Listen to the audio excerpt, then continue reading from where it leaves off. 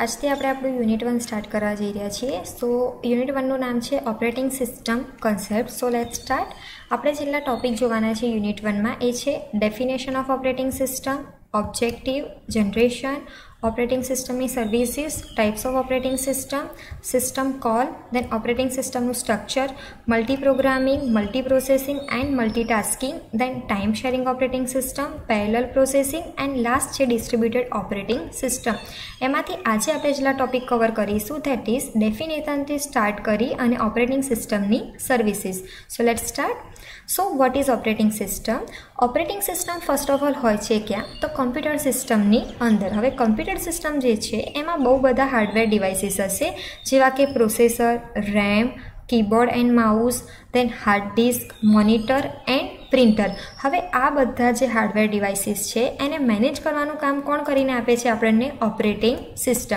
તો operating system શું કરે છે? આ જેટલા પણ નંબર ઓફ હાર્ડવેર ડિવાઇસીસ છે, રેમ છે, મોનિટર છે, આ બધાને મેનેજ કરીને આપે છે. હવે ક્વેશ્ચન એવું થાય કે આ બધા ડિવાઇસીસને મેનેજ કેમ કરવાના?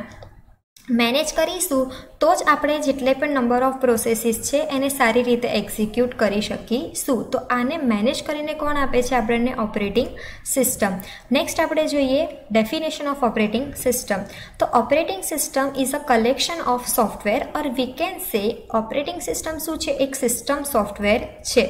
સો હવે એનું કામ શું છે? મેનેજ હાર્ડવેર રિસોર્સિસ મતલબ કે જેટલા પણ છે એ બધાને પ્રોપરલી અને સારા વેમાં આપણે શું કરવાના? કરવાના છે હાર્ડવેર રિસોર્સિસને પ્રોવાઈડ કરવાના છે. બીજું છે provide various services to the user હવે અલગ અલગ સર્વિસીસ જે પ્રોવાઈડ કરવાની હશે, એ પણ કોણ પ્રોવાઈડ કરીને આપે છે? ઓપરેટિંગ સિસ્ટમ નેક્સ્ટ આપણી પાસે એક્ઝામ્પલ ઓફ ઓપરેટિંગ સિસ્ટમ તો આ જે છે ને, એ બધાને ખબર હશે. બધાના ઘરે લેપટોપ હશે ને, તો આ શું છે? આપણું વિન્ડોઝ ઓપરેટિંગ સિસ્ટમ છે. નાઇન્ટી નાઇન પર્સન્ટ લોકોના ઘરે જેટલા પણ લેપટોપ છે સિસ્ટમ છે, બધાની અંદર આપણે શું ઓપરેટિંગ સિસ્ટમ યુઝ કરીએ છીએ? વિન્ડોઝ ઓપરેટિંગ સિસ્ટમ યુઝ કરીએ છીએ. હવે ક્વેશ્ચન એવો થાય કે કેમ વિન્ડોઝ ઓપરેટિંગ સિસ્ટમ યુઝ કરીએ છીએ? બિકોઝ કે એ ઇઝી ઇન્ટરફેસ પ્રોવાઈડ કરે છે. નેક્સ્ટ છે આપણી પાસે એન્ડ્રોઈડ તો દરેકની પાસે સ્માર્ટફોન હશે તો એમાં જનરલી અત્યારે કઈ ઓપરેટિંગ સિસ્ટમ ચાલે છે? એન્ડ્રોઈડ ચાલે છે. આ છે ઉબન્ટુ જે ઉબન્ટુ છે. ધેન આ છે આપણું લિનક્સ અને આ છે આપણું મેકઓએસ આ કોણ યુઝ કરે છે? એપલનું પોતાનું ઓપરેટિંગ સિસ્ટમ છે, જે છે મેક ઓએસ તો આ આટલા જ એક્ઝામ્પલ છે. એના સિવાય આઈઓએસ આ પણ શું છે? એક ઓપરેટિંગ સિસ્ટમ છે. બટ જનરલી આપણે વિન્ડોઝ અને એન્ડ્રોઈડ વધારે યુઝ કરીએ છીએ. નેક્સ્ટ ક્વેશ્ચન થાય કે ઓપરેટિંગ સિસ્ટમ હોય છે ક્યાં?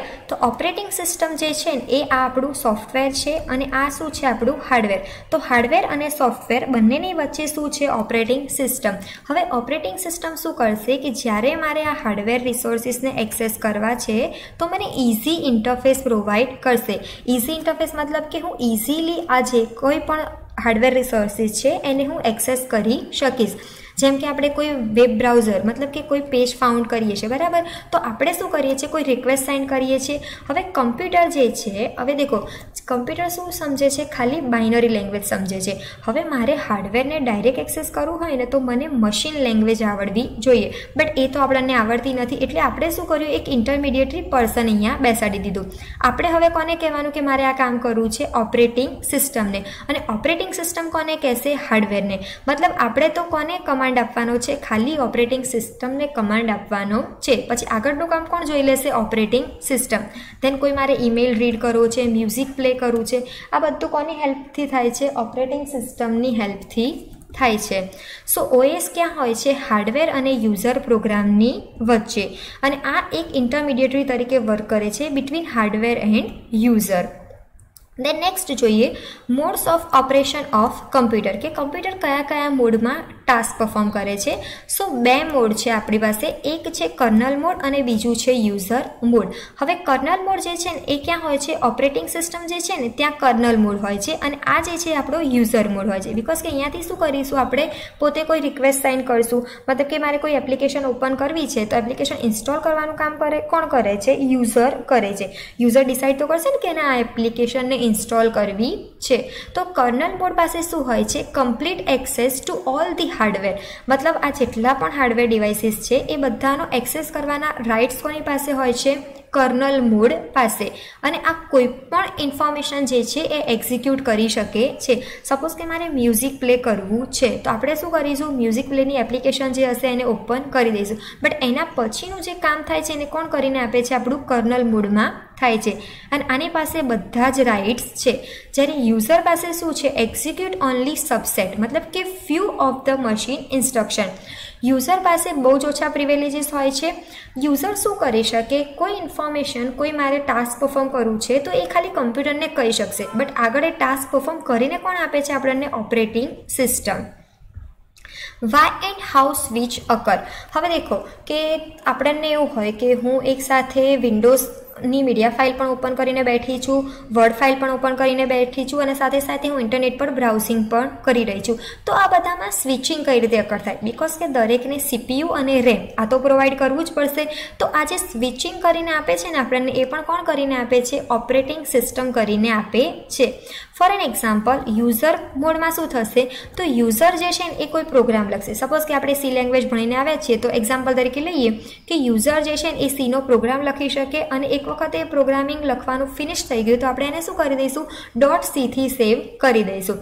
હવે ડોટ સીથી સેવ કરી દીધા પછી જ્યારે આપણે પ્રોગ્રામને એક્ઝિક્યુટ કરવા જઈએ છીએ, તો સૌથી પહેલાં તમારો પ્રોગ્રામ લોડ ક્યાં થશે? રેમની અંદર. રેમનું ફૂલ ફોર્મ શું છે? રેન્ડમ એક્સેસ મેમરી હવે રેન્ડમ એક્સેસ મેમરીમાં શું થાય છે કે અહીંયા આપણને રેમ અલોકેટ થાય છે અને રેમ ડીઅલોકેટ થાય છે. સો ફર્સ્ટ એક વખત આપણને લોડ થઈ ગયો પ્રોગ્રામ રેમમાં પછીથી આપણો પ્રોગ્રામ શું થઈ જશે? એક્ઝિક્યુટ થશે બાય પ્રોસેસર હવે જ્યારે એક્ઝિક્યુટ થશે એટલે આપણે એને શું અલોકેટ કરવું પડે? સીપીયુ અલોકેટ કરવું પડે. બટ આ સાથે સાથે જ્યારે હું સીનો પ્રોગ્રામ લખું છું, સાથે સાથે હું મ્યુઝિક પણ સાંભળી રહી છું. તો હવે આ બંને પ્રોસેસ વચ્ચે સ્વિચિંગ કરીને કોણ આપશે મને? ઓપરેટિંગ સિસ્ટમ બરાબર? તો યુઝર મોડમાં શું થશે? યુઝર પ્રોગ્રામ લખશે અને ફિનિશ થઈ ગયા પછી એને સેવ એક્ઝિક્યુટ કરવા માટે મોકલશે. અને કર્નલ મોડમાં પ્રોગ્રામનું એક્ઝિક્યુશન થાય છે. તો user mode programs perform trap instruction બરાબર? એટલે આ શું કરશે? આ ફિનિશ થઈ ગયા પછી આપણે અલ્ટર એફ નાઇન અને કંટ્રોલ એફ નાઇન આપીશું. તો એ ક્યાં જાય છે? કર્નલ મોડની અંદર જાય છે. અને કર્નલ મોડ આપણને આપણો પ્રોગ્રામ એક્ઝિક્યુટ કરી અને આઉટપુટ પ્રોવાઈડ કરે છે. સો મેઇન ઓબ્જેક્ટિવ જોઈ લઈએ. સો આટલા એના ઓબ્જેક્ટિવ છે. એમાં ફર્સ્ટ ઓબ્જેક્ટિવ છે આપણી પાસે convenient to use in efficient manner મતલબ કે હું એફિશિયન્ટલી ઇઝીએસ્ટ વેમાં કોમ્પ્યુટર સિસ્ટમને એક્સેસ કરી શકું છું. Then hides the detail of hardware મતલબ યુઝરની પાસે આજે છે ને હાર્ડવેરની ડિટેલ શો કરતું નથી કે કયું હાર્ડવેર છે અને કેટલા જીબીનું છે. એ બધી હાર્ડવેર ડિટેલ યુઝરથી હાઇડ કરીને પણ ઓપરેટિંગ સિસ્ટમ આપે છે. Then provide user a convenient interface મતલબ કે મને કેવું લાગે કે હું જાતે જ બધું પરફોર્મ કરી રહી છું બટ એકચ્યુઅલીમાં એ ટાસ્ક કોણ પરફોર્મ કરીને આપે છે આપણને ઓપરેટિંગ સિસ્ટમ તો એકદમ કન્વિનિયન્ટ ઇન્ટરફેસ પ્રોવાઈડ કરે છે અને ઇન્ટરમીડિયેટરી છે between hardware and user then resources પણ મેનેજ કરીને આપે છે. મતલબ કે તમારું સીપીયુ કેટલું યુઝ થયું છે રેમ કેટલી યુઝ થયું છે, આ બધું પણ કોણ મેનેજ કરી નાખે છે? ઓપરેટિંગ સિસ્ટમ દેન ટ્રેક રાખે છે. Who is using which resources granting resources request મતલબ આના માટે છે ને તમે તમારું ટાસ્ક મેનેજર ઓપન કરજો ક્યારે? કે જ્યારે તમે એક સાથે બે ત્રણ ટાસ્ક પરફોર્મ કરતા હોય ને, ત્યારે તમે તમારું ટાસ્ક મેનેજર ઓપન કરજો. એટલે તમને ખબર પડશે કે સીપીયુ કોણ કેટલું યુઝ કરે છે રેમ કોને કેટલી આપેલી છે કઈ કઈ એપ્લિકેશન કેટલી કેટલા રિસોર્સિસ યુઝ કરે છે એ બધું ટાસ્ક મેનેજર આપણને હેન્ડલ કરીને આપે છે. Then provide efficient and fair sharing of resources મતલબ કે કોઈને ના વધારે રિસોર્સિસ આપે છે, ના કોઈને ઓછું આપે છે. જેવી એપ્લિકેશનની રિક્વાયરમેન્ટ હશે, એના અકોર્ડિંગ આ શું પ્રોવાઈડ કરે છે? રિસોર્સિસ પ્રોવાઈડ કરે છે.